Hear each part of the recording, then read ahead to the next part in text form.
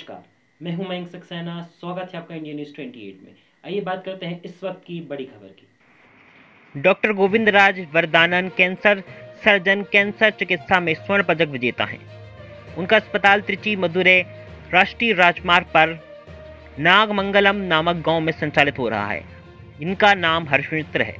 यह अस्पताल कैंसर उपचार, कीमोथेरेपी विकीकरण, सर्जरी और बैकरी थेरेपी प्रदान करता है। यह अस्पताल सरकारी बीमा योजना के अंतर्गत आता है। मतलब है कि मरीजों को सर्जरी और रेडिएशन थेरेपी पूरी तरह से मुफ़्त प्रदान की जाती है। हाल ही में जब एक 60 वर्षीय महिला मुँह के कैंसर से पीड़ित थी तो डॉक्टर ने कहा कि उसके लिए सर्जरी कराना असंभव है। वह इस अवसर के बिना इस बीमारी के साथ जी सकती है। महिला हर्षमित्र अस्पताल आई और डॉक्टर से परामर्श लिया डॉक्टर ने रेडिएशन थेरेपी से किया इलाज गौरतलब है कि महिला काफी स्वस्थ है इस अस्पताल में कई राज्यों और विदेश से अनगिनत कैंसर पीड़ित आते हैं और इलाज कराते हैं Shankar Raman RB Tamil Nadu south zone chief reporter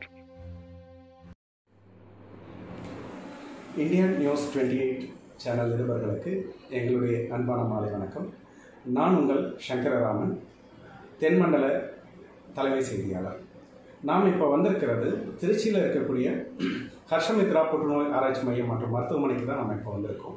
இந்த மருத்துவமனையானது திருச்சி மதுரை தேசிய நெடுஞ்சாலையில் நாகமங்கலம் என்கிற அழகிய கிராமத்தில் அமைக்கப்பட்டுள்ள மருத்துவமனையாகும்.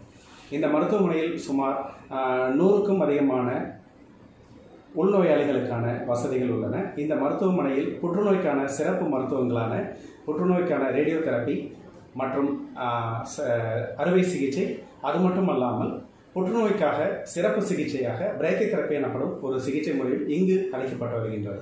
இந்த பிரேக்கி தெரப்பி சிகிச்சையானது திருச்சிராப்பள்ளி மாவட்டத்திலேயே முதன்முறையாக ஹர்ஷமித்ரா மருத்துவமனையில் மட்டுமே செய்யப்படுகின்றது என்பது ஒரு சிறப்பான செய்தியாகும். மேலும் இந்த மருத்துவமனையின் நிர்வாக இயக்குநர்களான டாக்டர் கோவிந்தராஜ் வர்தனன் அவர்களும் டாக்டர் சசிபிரியா கோவிந்தராஜ் அவர்களும் இந்த மருத்துவ சேவையை முற்றிலும் இலவசமாக நோயாளிகளுக்கு அதாவது ஏழை நோயாளிகளுக்கு இலவசமாகவும் சேவையாக செய்து வருகிறார்கள் என்பது குறிப்பிடத்தக்க ஒரு விஷயமாகும். இந்த மருத்துவமனையில் வந்து நோய் புற்றுநோய்க்கான மருத்துவம் பெற்ற ஏராளமான நோயாளிகள் இன்று குணமாகி நல்ல நிலையில் உள்ளது சான்றாக அமைந்துள்ளது.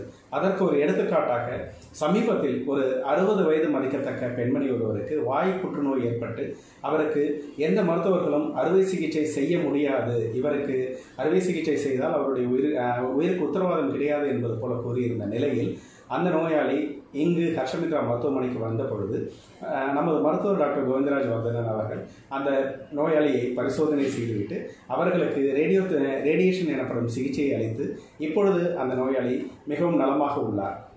அதனால்தான் நாம் இப்பொழுது இந்த மருத்துவமனைக்கு நமது மருத்துவர் திரு கோவிந்தராஜ் வர்தனன் அவர்களை பேட்டி எடுப்பதற்காக வந்துள்ளோம். இப்பொழுது நமது மருத்துவரிடமிருந்து நமது பேட்டியை தொடங்குவோம். வணக்கம் சார். வணக்கம். நான் டாக்டர் கோவிந்த்ராஜ் கேன்சர் சர்ஜன் புற்றுநோய் அறுவை சிகிச்சை நிபுணர்.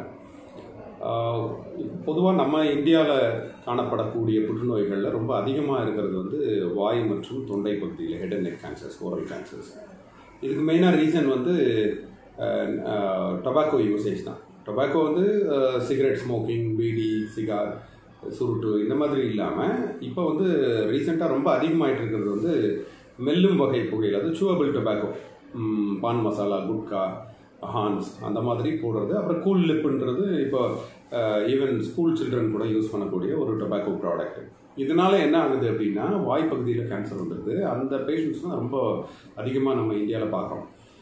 இப்போ வாய்ப்பகுதியில் கேன்சர் வரும்போது அதில் வந்து ஒரு சில சேலஞ்சஸ் இருக்குது எங்களுக்கு. ஒன்று என்ன அப்படின்னா ரொம்ப அட்வான்ஸ் ஸ்டேஜஸில் அதை வந்து க்யூர் பண்ணுறது ரொம்ப சிரமம்.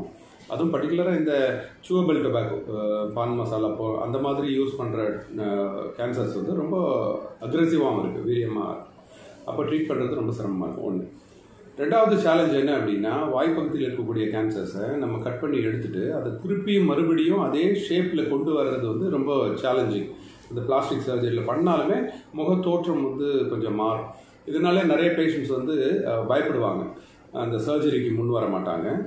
அப்போது நம்மக்கிட்ட என்ன பண்ணுறோம் அப்படின்னா நாங்கள் எந்தெந்த பேஷண்ட்ஸ் எல்லாம் அந்த மாதிரி சர்ஜரிக்கு பயப்படுறாங்களோ அல்லது சர்ஜரி பண்ண முடியாதோ அந்த மாதிரி சேலஞ்சிங் கேசஸும் நாங்கள் எடுக்கிறோம். ஏன்னா இங்கே எங்களுடைய அட்வான்டேஜே என்ன அப்படின்னா we have all the three specialist அதாவது surgical oncology radiation oncology medical oncology மூணு பேருமே அட் அ டைம் உட்காந்து பேஷண்ட்டை பார்ப்போம். இது வந்து டியூமர் போர்டு அப்படின்னு சொல்லுவோம். ஸோ ட்ரிச்சியிலே ஃபஸ்ட் டைம் இந்த மாதிரி டியூமர் போர்டு ஒரு பேஷண்ட்டுக்கு மூணு டாக்டர் அட் அ டைம் பார்க்குற சிஸ்டம் வந்து நம்ம ஹாஸ்பிட்டலில் தான் நாங்கள் இன்ட்ரடியூஸ் பண்ணோம். இன்ன வரைக்கும் அது மாதிரி நாங்கள் ப்ராக்டிஸ் பண்ணுறோம் ஸோ ஒரு பேஷண்ட்டை பார்க்கும்பொழுது சர்ஜரி அவ ஒரு சப்போஸ் அந்த பேஷண்ட் வந்து சர்ஜிக்கல் ஆன்காலஜிக்கிட்ட மட்டும் போனார்னா அவங்க இது சர்ஜரி பண்ண முடியாதுன்னு சொல்லி அமைச்சிருவாங்க அப்போ பேஷண்ட் வந்து நம்ம ஒன்றும் ட்ரீட்மெண்ட் பண்ண முடியாதுன்னு சொல்லிட்டு அப்புறம் அப்படியே ட்ரீட்மெண்ட்டை இக்னோர் பண்ணிடுறாங்க இங்கே அப்படி கிடையாது. நாங்கள் ஆல் த த்ரீ ஸ்பெஷலிஸ்ட் இருக்கிறதுனால சர்ஜரி பண்ண முடியாத கேஸஸ் நாங்கள் ரேடியோ தெரப்பி கொடுப்போம்.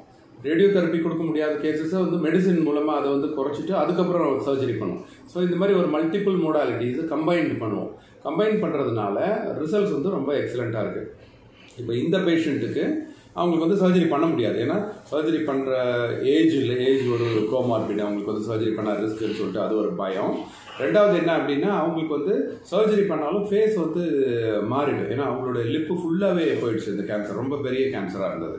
அப்போ அதை எடுத்துட்டு ரீகன்ஸ்ட்ரக்ஷன் பண்ணி சர்ஜரியை வந்து பண்ணுறது வந்து ரொம்ப சிரமமாக இருக்கும். அதனால் என்ன பண்ணோம் அப்படின்னா இந்த பேஷண்ட்டுக்கு வந்து சர்ஜரியே இல்லாமல் ரேடியோ தெரப்பி மட்டுமே கொடுத்தோம். ரேடியோ தெரப்பி மட்டுமே கொடுத்து எக்ஸலண்ட் ரிசல்ட் நீங்கள் பார்க்குறீங்க இந்த அந்த அளவுக்கு அது வந்து நல்ல அதை க்யூர் பண்ண முடிஞ்சது அந்த பேஷண்ட் பொறுத்த வரைக்கும். ஸோ கேன்சரை பொறுத்த வரைக்கும் நம்ம பயப்பட வேண்டாம். நம்ம செய்ய வேண்டியதெல்லாம் ஆரம்ப ஸ்டேஜில் டாக்டர்கிட்ட வந்துடணும். பட் ஒருவேளை அப்படி வர முடியல ரொம்ப அட்வான்ஸ் ஸ்டேஜாக பேஷண்ட்ஸ் வந்தால் கூட அதை வந்து நாங்கள் சேலஞ்சாக எடுத்துகிட்டு நிறைய பேஷண்ட்ஸை வந்து நாங்கள் க்யூர் பண்ணியிருக்கிறோம். அந்த மாதிரி நிறைய ஃபோட்டோஸ் கூட நீங்கள் பார்க்கலாம். இப்படி ஆப்ரேஷன் அந்த ரேடியோ தெரப்பிக்கு முன்னாடி பின்னாடி. சர்ஜரியே இல்லாமல் ரேடியோ தெரப்பி அண்ட் கீமோதெரப்பி மட்டும் பயன்படுத்தி நிறைய வாய் மற்றும் தொண்டை பகுதியில் இருக்கக்கூடிய கேன்சர்ஸை வந்து நாங்கள் கம்ப்ளீட்டாக அதை வந்து சரி பண்ணியிருக்கிறோம். இந்த ஆப்பர்ச்சுனிட்டியை பேஷண்ட்ஸ் யூஸ் பண்ணலாம்.